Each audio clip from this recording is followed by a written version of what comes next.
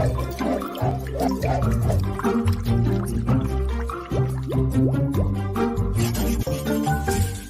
I making sense? A child is an open book of possibility. They are the reflection of the past and the consequence of the present. Children's learning is pivotal in creating a world where everybody thrives and lives much safer. However, how should we create a wholesome learning environment for the child? What learning methods should children get in school? How should we mold the child? Meet Grace. Grace is a bright and quirky young girl. For her, school is a home of care and love. She feels excited whenever she goes to school. As a kid, her excitement can be seen from her smile, as if the world is hugging her. As she enters the classroom, she sits in the front and prepares her notebook for the class. The teacher walks in front of the room greeting everyone with a smile. After a while, the teacher asks the pupils to answer some questions. Grace studied some of the lessons in advance. The teacher called her name and proceeded to ask her. When she stood up, she saw everyone's eyes looking at her. Also, it is not helping that she is nervous. Her mispronunciation made the whole class laugh as if a clown walked by under her. All the pupils were loudly laughing in front of her face. Suddenly, tears started flowing under her eyes. What do you think happened next? Grace was so sad because the class laughed at her.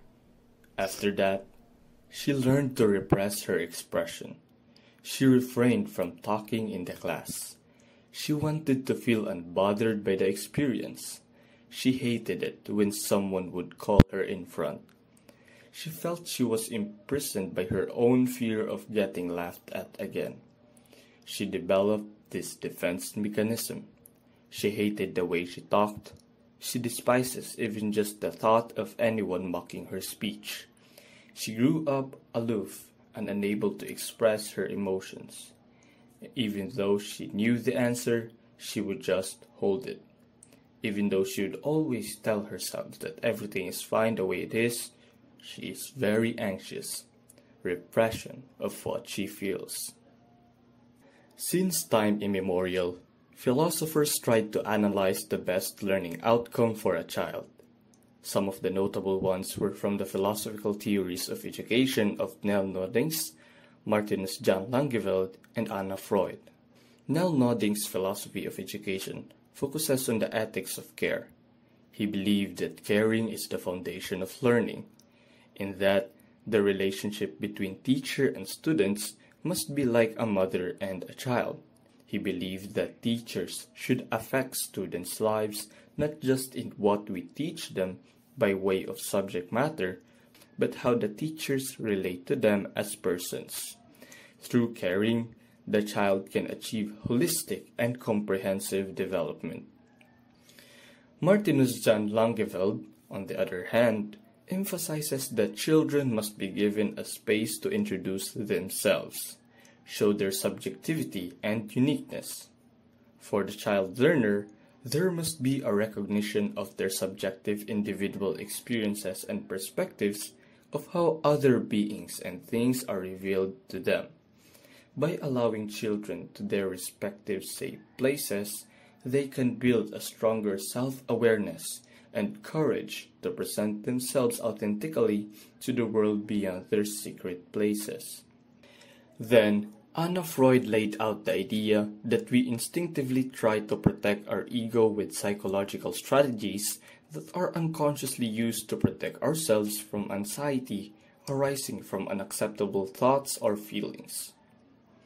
Her philosophy of education focuses on the unconscious impact that the teacher or the school's environment imparts on the child. If injustices or stress happen in the classroom, the child would create defense mechanisms. The crucial part of imparting the learnings to a child is making sure that they feel safe, they feel loved and cared for. On the same note, Child learning is best realized whenever the teacher shows as a motherly figure for the child. In the story, Grace's environment make her anxious and feel humiliated. Laughing at her mispronunciation affected her confidence. From the stress, she had a defense mechanism, mainly repression. At this stage, kids like her must have a kinder and more sensitive environment, a space where they can be the best version of themselves. Some of us experience what Grace has been through. Sometimes, this experience leaves a mark on us that we will carry for the rest of our lives. The world should not let everyone experience what Grace had. She does not deserve that, and neither should anyone else. Am I making sense?